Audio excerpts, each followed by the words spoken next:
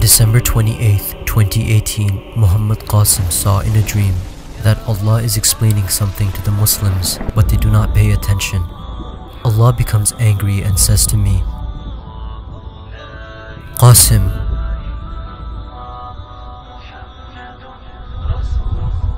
write my message and deliver it to these people.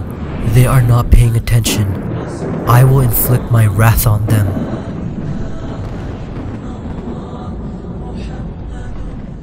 Allah is speaking in an angry tone, and I do not have any other option but to write His message.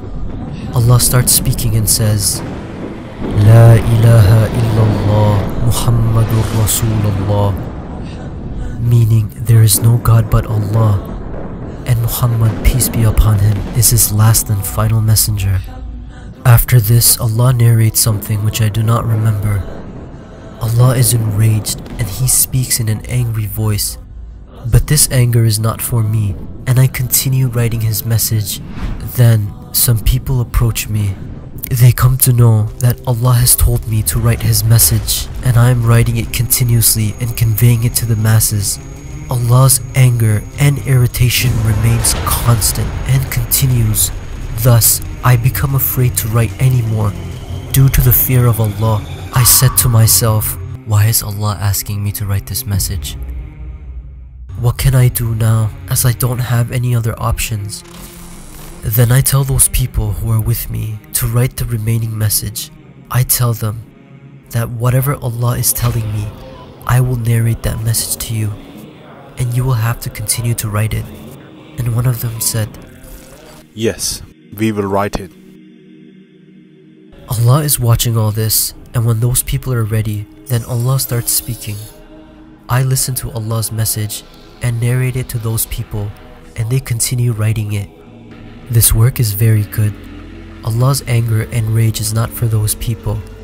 I said to myself that these people are quite courageous as they have started to write all this. When Allah has completed the message, then one of them says that the message Allah has narrated is very dangerous and scary. India will also occupy some parts of Pakistan.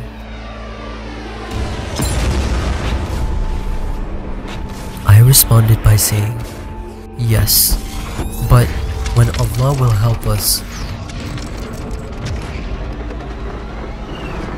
we will regain that area. Then it also has to happen that an earthquake will come and the circumstances will get worse after that. Then there is an earthquake of low intensity and we do not realize that it's the same earthquake which we were waiting for.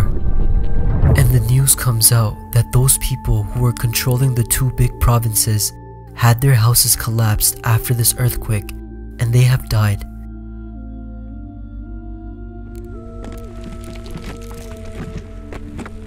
I said to myself that this was a very light earthquake, but it has collapsed their houses.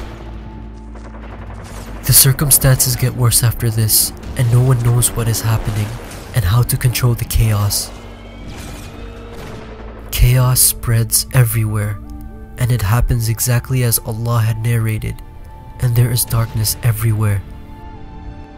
Then I wear some clothes, and they even shine in the darkness. And people can see me from a faraway distance.